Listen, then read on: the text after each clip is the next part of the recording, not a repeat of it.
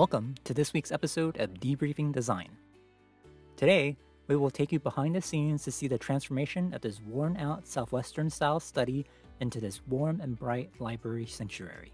This is Operation Casa Madera. The owners of the study had owned the property for several years and were tired of not being able to utilize the study at the same time. The pine wood fronted melamine bookshelving was also inadequate for the amount of books our avid readers collected throughout the years and had been sagging for quite some time. At first glance, the study and the rest of the house had incredible architectural features, including the vigas and latilla detailing on the ceiling, but the study was doing nothing to showcase these elements. The lighting was also insufficient for a reading and workspace even though there were two skylights in the room. The study had a good footprint, but did not utilize the space to its full advantage. During our initial walkthrough, we learned that even though the shelves were completely full, it only represented about 40% of our client's full literary collection of nearly 200 boxes of books. Our clients were both professionals who worked out of the house but could not ever use the study at the same time due to the lack of work surfaces. There was also a closet tucked in the corner of the room with a pair of bifolding doors that kept getting stuck on the tracks. Also, the entire house was designed with a radiant heated floor system as part of the foundation, but the carpet in the study was rippling and needed to go.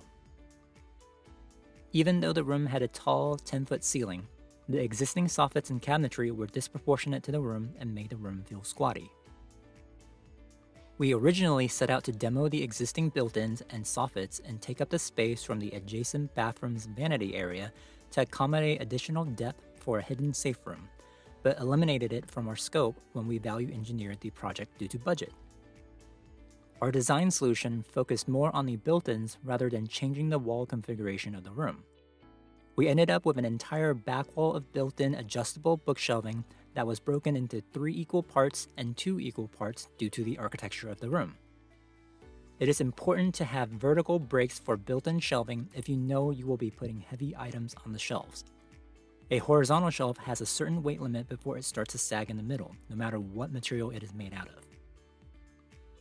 On the wall of the original built-in desk, we designed a deeper lower section with lockable lateral file storage drawers and bookshelves above. Because the original desk was tucked into an alcove, we wanted to take advantage of the extra depth. This also allowed the clients to use the bonus counter space for display or to set items on. On the opposite wall, we originally designed a built-in workstation for both clients with cavities for their monitors and diplomas above. We also designed a shared T-shaped workspace perpendicular to the wall unit so they could have additional work surface. However, this was also slightly modified when we value engineered the scope and we ended up trading it out for an existing desk. We ended up with lockable storage for their equipment below, keyboard tray drawers for their peripherals, and additional shallow shelving above so they could place their monitors in front. Our design tactic for correcting the disproportionality of the space was to extend the height of the built-in bookshelving to a consistent datum line across the entire room. This helps to draw the eyes up so one could fully appreciate the height of the room along with the architectural ceiling features. As a part of the taller shelving, we also added a rolling library ladder at the top of the left and back walls of shelving. The ladder was custom built out of the matching wood species and stored vertically out of the way when not in use. This was such a fun, useful feature, but also a great conversation starter when our clients have visitors over. We also added LED uplighting at the top of the built-ins to help bounce light off of the ceiling for ambient lighting, accent lighting for any items on display above, and also to highlight the vigas that span the entire ceiling. Our clients regularly read 100 books a year, so correct lighting levels were essential. We turned up the brightness of the room and replaced all the existing recessed can lights with LED retrofit bulbs with a high color rendering index, or CRI. As we age, our eyes start seeing yellow, and a light source with higher CRI helps us see colors truer. We also replaced the ceiling fan with a modern update with integrated LED lighting. Additionally, we added accent lighting along the vertical edges of the bookshelves so the fronts of the books would have a subtle accent glow.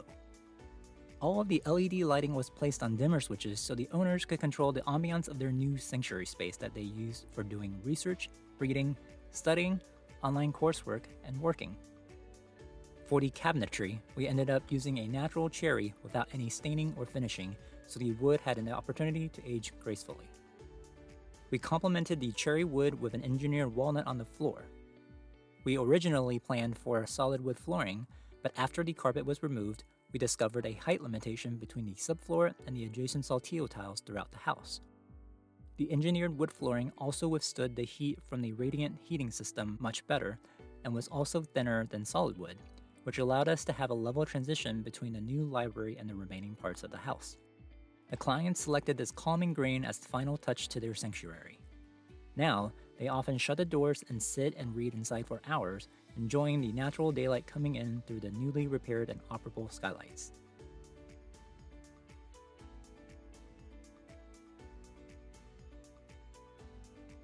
We hope you've enjoyed this episode please leave a comment below if you have any questions or feedback regarding this project.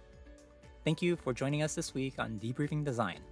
Make sure you subscribe for future episodes. Operation Casa Madera, case closed.